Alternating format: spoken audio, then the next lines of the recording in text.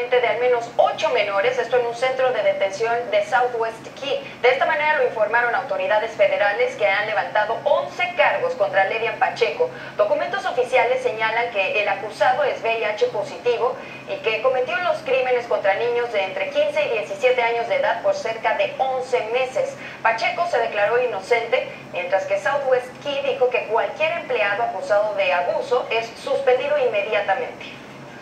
Se llama